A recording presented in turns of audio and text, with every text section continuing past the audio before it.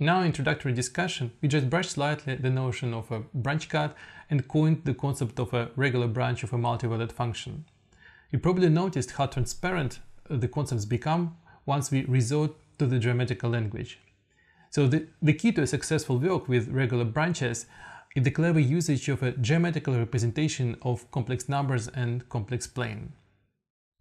So let's address more general example. Let's consider the most generic cubic root function f of z equals the cubic root of g of z function. Where g of z function is an arbitrary function in a complex plane, it's assumed to be single-valued and meromorphic. So how do we explore its analytical structure? Well, first of all, we see that the equation f cubed is equal to g of z has in general three distinct roots, so it's a triple-valued function. So to make it single-valued, we need to draw branch cuts, but where to start them and where to end? Well, as you see in a minute, the beginning and end points of our branch cuts are always the zeros or poles of the function under the root, that is g of z. So suppose g of z has some simple root, like first order root at some point z sub b. Then, to investigate its structure in the vicinity of this point, we may Taylor expand it and uh, retain only the first order term. So g of z is equal to c1 times z minus z sub b. Then f function is also drastically simplified.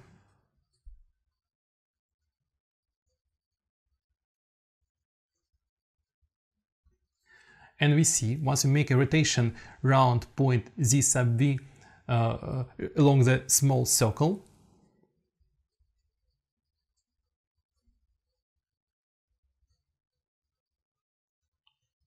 the f function changes accordingly. It's multiplied by 2, e to the 2 pi i by 3. So even the infinitesimal rotation around this point makes the function multivalued.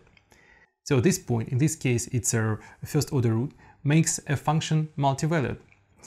Uh, and we should start a branch cut right here. That kind of poles obviously play a special role in our analysis, so they're called branch points. So what if our g of z function has, for example, a pole at some point? Let it be a simple pole, a first order pole. Then again, we do the same trick. We Laurent expand this function in the vicinity of this point. So g of z is equal to c negative 1 over z minus z sub b. And then again, we make a rotation around this point and f function. Now, also changes but in a slightly different manner. It's multiplied by the exponential with the exponent minus 2 pi i by 3. So again, we should start a branch cut here, and this sub b being a first order pole, again, is a branch point of our multivalued function. Therefore, the potential branch points of our root type functions are either zeros or poles of the function under the root. If a function under the root doesn't have zeros or pole, then what? Then a function will be single-valued. The classical example would be an exponential function. Indeed, let g of z be a simple exponential e to the power of z. We remember that exponential doesn't have zeros and poles in the complex plane, but then the cubic root would be simply e to the power of z by 3, so it's again a single-valued function.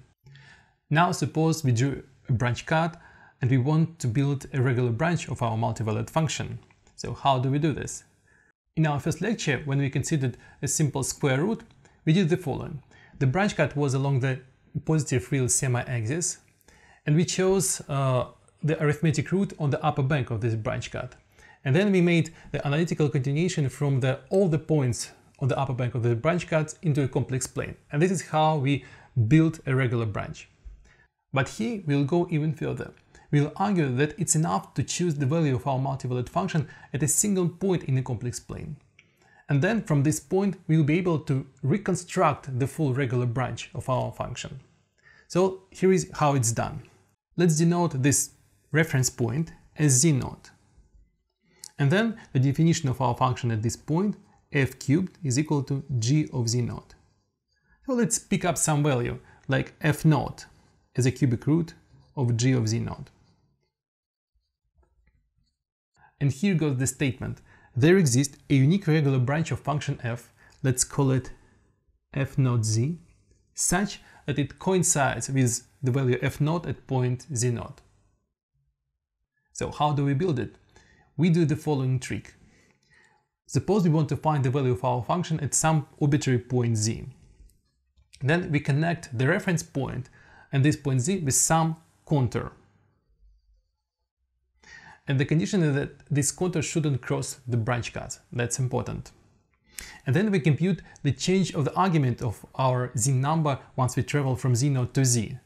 Well, the argument of the complex number is a multivalued function. It's defined modulo 2 pi.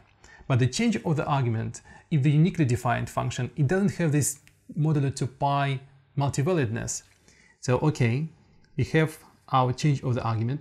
But once we figured out the change of the argument of z, we can also find out the change of the argument of g function. It's single valued, right? Let's denote the delta argument of g as we travel from z naught to z. And then we do the following. We write the formal definition of our function.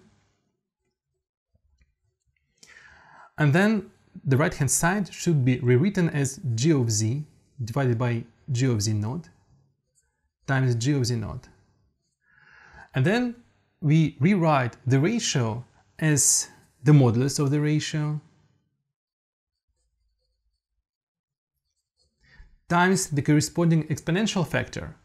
But the exponential factor in, in its exponent will have precisely this delta argument of g once we travel from z naught to z, which already computed, times g of z naught. Alright, and then we extract the cubic root from both parts of this equation. So on the left hand side, we will simply have f of z, but on the right hand side, we should extrude the cubic root in such a way that at point z naught, it will give us f naught value. So, and you can clearly see that if you choose the positive value of the cubic root of the modulus,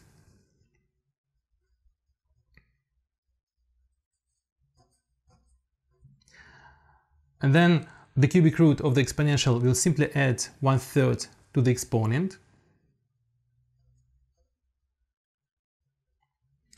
And for the cubic root of g of z naught, we will simply uh, substitute f naught. And here it is. We built a single valued function which coincides with f naught at point z naught. What if we want to build another regular branch? Well, it's done in this very similar manner. The only difference that at point z naught, we just choose another solution of this cubic equation. So f cubed is equal to g of z naught. And then we cap a different root. So f1 is equal to f naught times e to 2 pi i by 3. And then step by step, we repeat the same procedure. So what we will get in the end is, is very similar construction and the only difference will be additional factor e to the power 2 pi i by 3. So now our new regular branch f1 of z will be equal to the previous regular branch times e to 2 pi i by 3. And of course, the same goes for the third regular branch. And naturally, this technique is independent of a particular power which defines our multivalued function. Here we, we dealt with one-third power, cubic root, but of course it can be any arbitrary real or even complex power. All the steps will remain the same. For example, for the nu power, we'll have very similar expression for the uh, regular branch of a multivalued function. We'll have f of z would be equal to the uh, modulus of the ratio of g of z and g of z naught to the power of nu. And then, of course, we'll have exponential i nu delta argument of g once we travel from z naught to z, and the value of the function at point z naught.